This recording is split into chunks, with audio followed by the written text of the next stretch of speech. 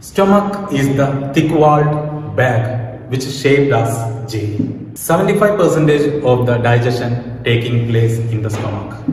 The stomach contains the inner lining of the stomach secretes mucus, hydrochloric acid and digestive juices. The hydrochloric acid which is present in the stomach kills the germs which is present in the food and also makes the acidic medium. The digestive juice which contains an enzyme called pepsin which break the proteins into simplest form. The mucus present in the stomach protects the stomach from the corrosion of HCl or hydrochloric acid. The partially digested food from the stomach moves to small intestine.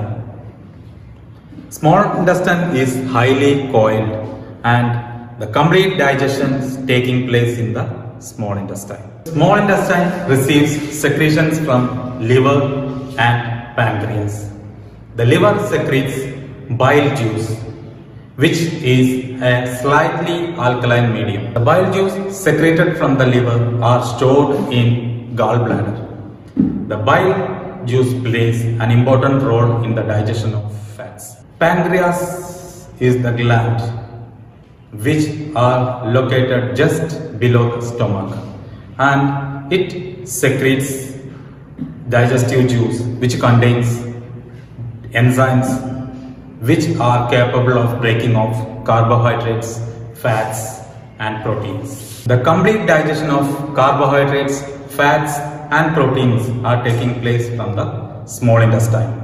The pancreatic juice contains an enzyme called amylase which convert carbohydrates into glucose. The enzymes called pepsin which convert proteins into amino acids and lipase the enzyme which convert fats into fatty acids and glycerol. The small intestine contains finger-like projections called villi which contains blood nerves. The digested food from the small intestines are absorbed by the blood nerves which are present in the villus. The undigested food moved from small intestine into large intestine and from the large intestine the absorption of water takes place and the solid fecus move to the rectum and finally it is ejected out through the anus. I believe that all of you understood what I taught now. So go through the lessons and if you have any doubt you can contact. Thank you for watching this video.